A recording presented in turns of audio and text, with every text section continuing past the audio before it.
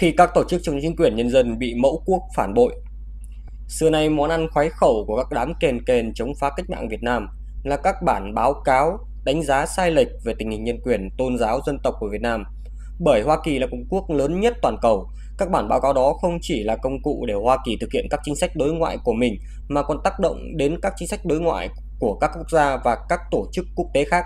Nên việc sử dụng các báo cáo này để làm nội dung tuyên truyền chống chính quyền nó có sức nặng hơn hết thảy.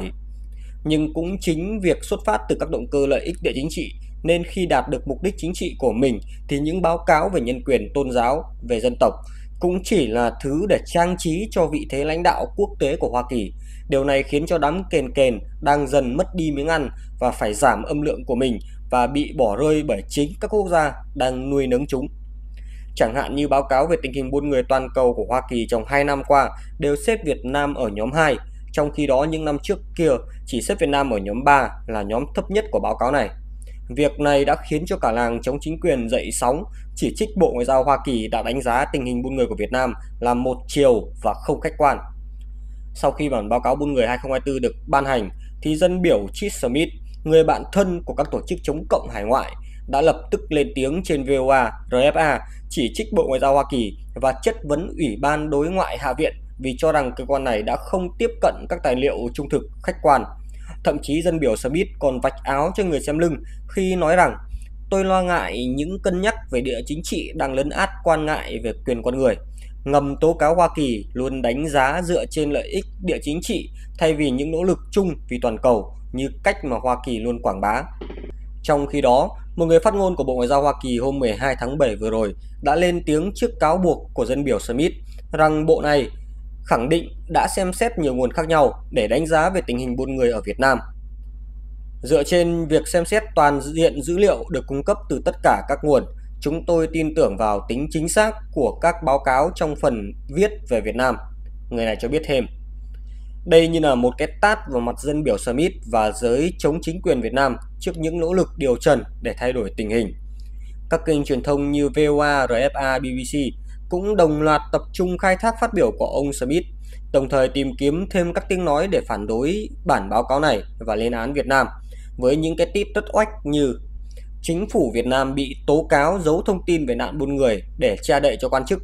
hay Việt Nam bị cáo buộc đưa thông tin sai lệch về nạn buôn người cho Mỹ.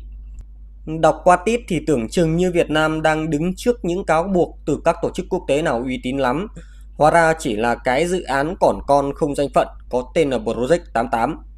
Nói qua về dự án này thì đây là một tổ chức được thành lập tại trường luật Chicago, Hoa Kỳ, lấy điều 88 trong Bộ luật hình sự Việt Nam làm tên của dự án để chống phá chính quyền Việt Nam. Nó cho thấy các tổ chức đài báo chống chính quyền thực sự đang bí lối và bất lực khi không tìm được tiếng nói đồng đều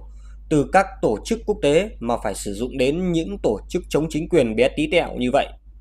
Cũng giống như Chit Smith, Project 88 cho rằng Bộ Ngoại giao Hoa Kỳ đánh giá tình hình buôn người Việt Nam là không khách quan. Để minh chứng cho những cáo buộc của mình, Project 88 dùng chiêu bài cũ rích là tổ chức này đang được tiếp cận những tài liệu mật của Việt Nam và rằng trong tài liệu đó có đề xuất Việt Nam nên che giấu sự tham gia của các quan chức chính phủ vào nạn buôn người, cố tình đưa tin sai lệch cho Bộ Ngoại giao Hoa Kỳ về những nỗ lực giải quyết vấn đề này.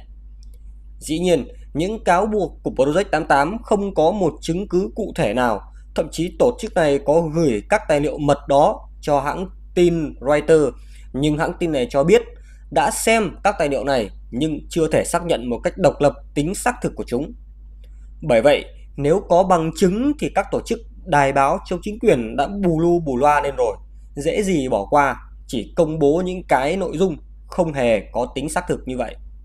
Rõ ràng, qua những diễn biến vừa rồi của các tổ chức đài báo chống phá chính quyền cho thấy đám này cũng chỉ giống như những thú cưng ở trong nhà. Cho ăn ngon thì lăn lộn quỳ đứng kiểu gì cũng làm. Khi không được ăn và bị xích lại thì cũng chỉ có thể ngồi một chỗ mà sủa phóng uế tại chỗ rồi tự ngửi một sự bất lực cùng cực và tuyệt vọng khi bị bỏ rơi từ chính chủ nhân của mình.